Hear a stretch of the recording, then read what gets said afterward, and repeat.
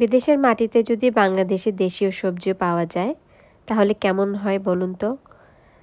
সেই প্রচেষ্টায় গত দু বছর ধরেই আমি আমার শখের বাগানেতে বাংলাদেশি শাকসবজি চাষ করছি এবং আপনাদের সাথেও প্রতি বছর আমি সেটা শেয়ার করি।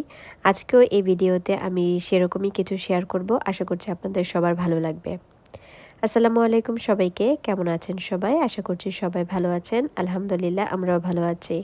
বাগানের ছোট্ট একটা আপডেট নিয়ে আপনাদের মাঝে হাজির হয়ে গেলাম। আশা করছি আপনাদের প্রথম থেকে লাস্ট পর্যন্ত সম্পূর্ণ ভিডিওটা ভালো লাগবে। প্রথমে আমার মেক্সিকান মরিচগুলো আপনাদের সাথে শেয়ার করলাম। মরিচ গাছগুলোতে ভালো মরিচ এসেছে। আর এই পাশটাতে আছে করলা গাছ। এই করলা গাছগুলো এবছর খুব দেরিতে হয়েছে। তো দেরিতে হওয়ার কারণে ফলগুলো দেরিতেই ধরছে। তবে অনেকগুলো ফুল ছেড়েছে ইনশাল্লাহ হয়তো বা কিছুদিন পরে আরও করলা হতে পারে। অলরেডি কিছু করলা হয়েছে। তো আজকে আপনাদের সাথে করে নিয়ে সেই করলাগুলো পারব আর কিছু কথা শেয়ার করব। তো আমি যখন রেকর্ড করছিলাম, তো তখন হচ্ছে গিয়ে প্রচুর রোদ ছিল। কারণ বিকেলের দিকে যদি আমি মানে ভিডিওটা রেকর্ড করি, তাহলে সূর্যের আলো কম থাকাতে ভিডিওটা ভালো আসে না। সে কারণে যখন একটু কড়া রোদ ছিল, তখনই বাগানে গিয়েছিলাম। তো বাগানে যাওয়ার পরে তখন একদম পাতাগুলো নিতেই গিয়েছিল গরমে। আর ইটালিতে কয়েকদিন যাবৎ অসম্ভব পরিমাণ গরম পড়ছে। মানে এত বছরে আমি এত পরিমাণ গরম দেখিনি। তো এই সাইডে করলা গাছগুলো বিয়ে আমাদের এক ধরনের গাছ আছে ইটালিতে। তো ওই গাছের নামে আমি অবশ্য জানি না। এই গাছগুলোর উপরে বিয়ে গেছে, আমার বাগানই আছে গাছগুলো।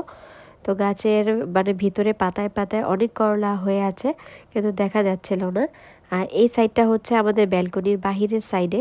তা আমি বাহিরের থেকে ভিডিওটা করেছি। মানে বাহিরের সাইডেও করলা হয়ে মানে পড়ে আছে, কিন্তু আমরা কেউই দেখতে পাচ্ছিলাম না। তো আজকে আমার যা আমাদের বাসায় এসেছিল, তো আমার বাগানে করলা দেখে ও খুবই খুশি হয়ে গেছে। বলছে, ভাবি একটা বাংলাদেশি পরিবেশ পাচ্ছি, বিদেশে আসার পরও খারাপ লাগছে না। তো ওকে বললাম, ঠিক আছে, আমার বাগানের প্রথম করলা তুমি পারো, তোমাকে দিয়ে উদ্বোধন করি। তো ও আসার পরে ওকে দিয়েছিলাম পাড়ার জন্য করলাগুলো। তো খুব এনজয় করে করলাগুলো পারছে। তো সেই দৃশ্যগুলি আজকে আপনার সাথে শেয়ার করছি। আপনাদের আশা করছি আপনাদের ভালো লাগবে। এই হাতিদের বাবা বাহিরে নাকি একটা ছিল?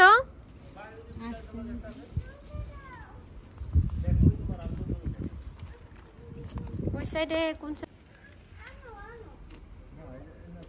এটা পাইকে যেত দেখো। ওইটা ওইটা পাইকে যাবে ওইটো কাইটা ফেলো।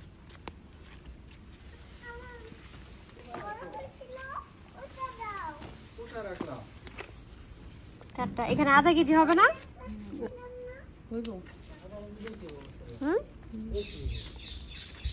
আপনার ভাই তো করলা লাগে। ওঠাও এটা তো মাসাল্লাহ অনেক বড়।